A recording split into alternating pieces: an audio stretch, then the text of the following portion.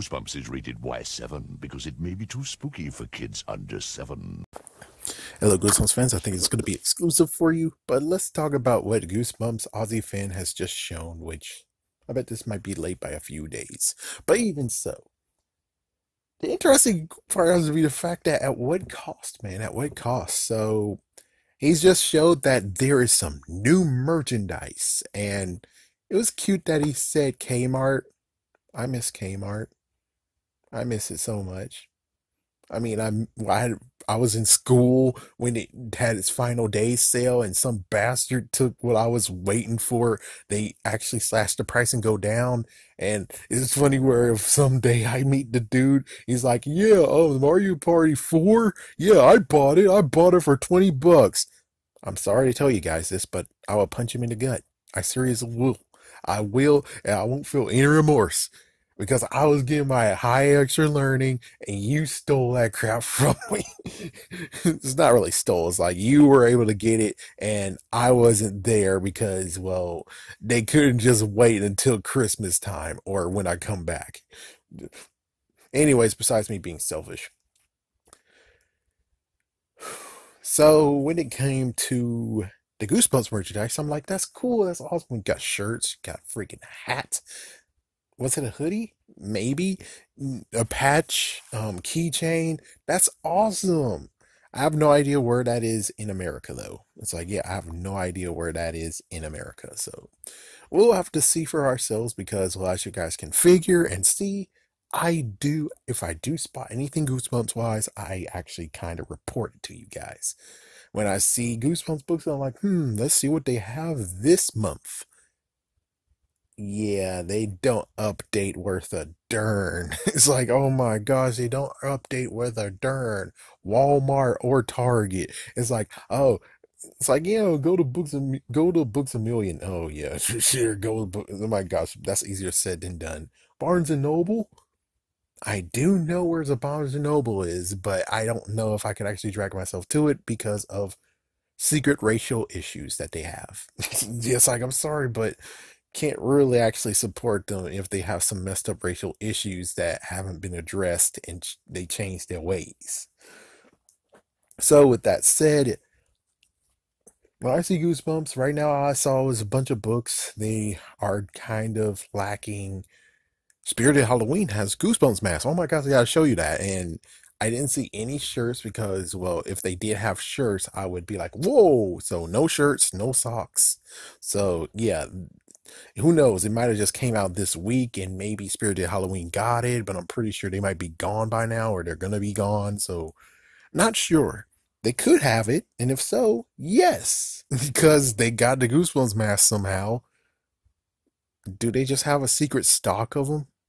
Do they still sell the masks? I'm not sure if they even still sell the masks. I mean, the people who created them, I'm pretty sure they're gone. So it's like, hmm, that's a good question. I don't know. I think they did stop it because Scholastic.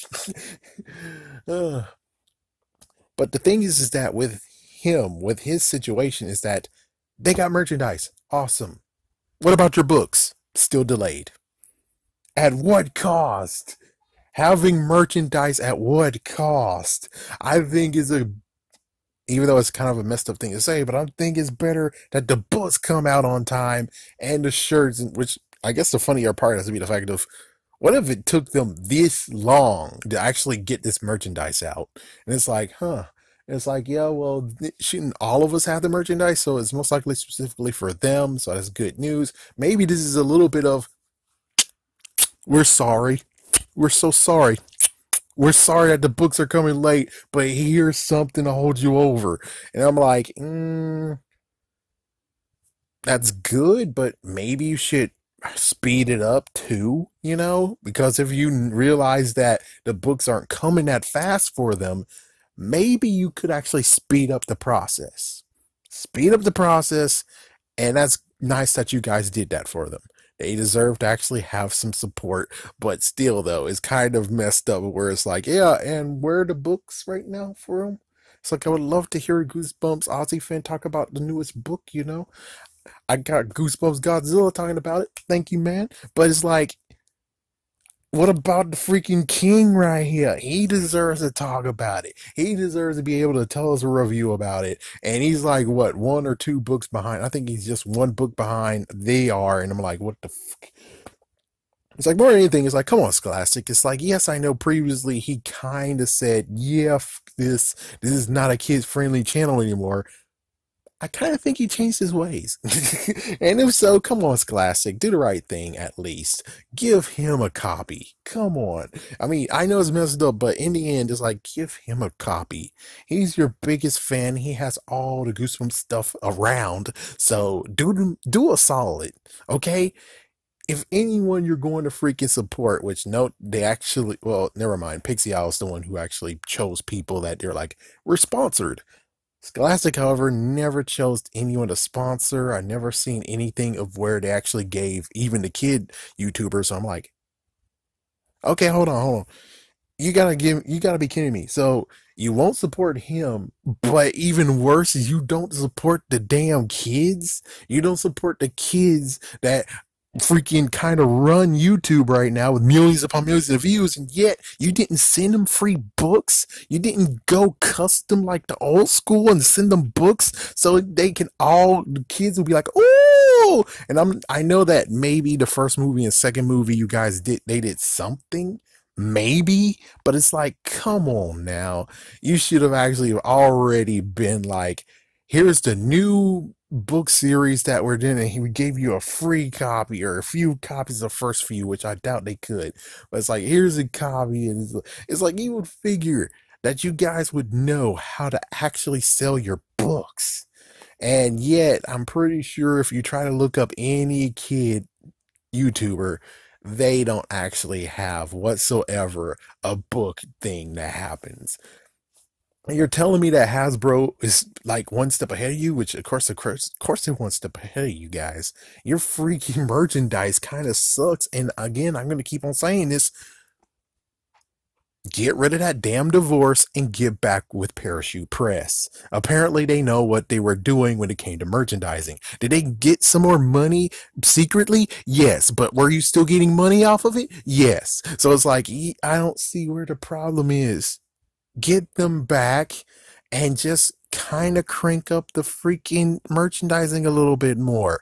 And if you need even more help, how about you look at the video that I talked about so many freaking companies that are so craving to do it. I mean, I even asked freaking um, Funko Pop. I asked someone who actually part of Funko Pop, and he just gave me a freaking GIF of Slappy.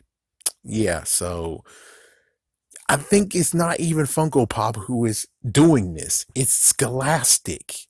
And that's the sad part. It's Scholastic who is trying to do merchandising and they only care about the books because that's what really matters. But even so, they sometimes do merchandising when it's like, remember back in the day when they had merchandising up the wazoo?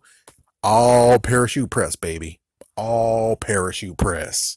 So it's like, yeah, either get parachute press back or whoever the hell is doing the Harry Potter stuff, get them to freaking be a part of Goosebumps. Get them to do it because they're actually getting to the point of where they're getting tapped out. All they're doing is just the same old, same old. I mean, it doesn't seem to me it's like yes in the fantastic beast yes i get it they got a new franchise but it's not doing too hot and hopefully the guy who plays us um, Dumbledore's brother, at least I think he's out of hot water with thank goodness for you guys. But still, there's got to be someone in that company who's like, oh, I remember Goosebumps. Sure, I can do something awesome with them. That's all you got to do. That's all we're asking you to do. Either get back with freaking Parachute Press or find someone that is doing merchandising or your stuff and get them to be like, well, we have one person who's actually willing to do it. Or I don't know. I'm just telling, just saying that a lack of merchandising, even though it's kind of funny reading that article of the fact of, oh, but there's so many characters. We have no idea how the it could even work. And blah, blah, blah. it's like Curly seemed to be like the first mascot. Then Slappy became the mascot. And of course, yes, you have mini monsters. Look at Pokemon. They have freaky damn mini monsters too. They're not having issues with merchandising, are they? And you're telling me you guys had issues with merchandising? Man, Pokemon came like at least one or two years later. All you had to do is look at them and be like, what are they doing? Copy that shit. copy that shit. it's like copy every single thing Pokemon is doing. Pokemon cards, freaking. We got freaking collector goosebumps cards, man. The pop, I mean, um, uh what was it called? The freaking coins uh pogs. Pogs get freaking goosebumps pogs up in this shit. You already did pencils papers pens and everything else. It's like just use the damn logo and you guys are doing it now. It's like get some pens up in this shit. Get some freaking school supplies up in this shit. It's like come on. Learn from your past and try to bring that into the damn future. The end. I'm gone. Have a scary day. Have a scary night